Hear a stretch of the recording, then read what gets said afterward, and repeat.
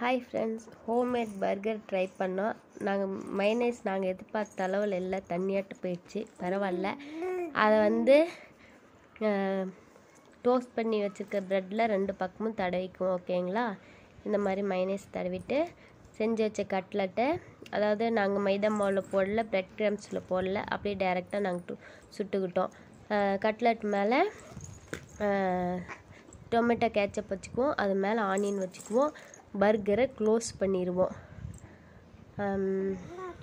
பார்த்தீங்கன்னாக்கா நாங்கள் தக்காளி கேபேஜ்லாம் வைக்கல. ஆனியனே போதும்னு வஸ் விட்டோம்.